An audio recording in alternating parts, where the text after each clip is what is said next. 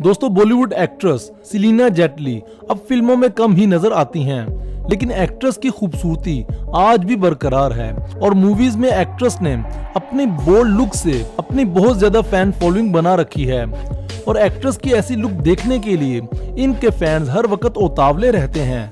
तो वहीं एक्ट्रेस भी आए दिन अपने हॉट फोटोशूट के ज़रिए लाइमलाइट बटोरती रहती हैं।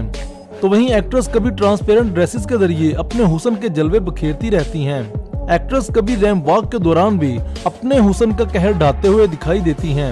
एक्ट्रेस आज भी यंग ही नज़र आती हैं और इनकी खूबसूरत अदाएँ हर किसी को इनका दीवाना बना ही देती हैं। वहीं एक्ट्रेस कभी अपने साथ हुए कुछ ऐसे मूवमेंट्स को भी लेकर सोशल मीडिया की सुर्खियाँ बनी रहती हैं।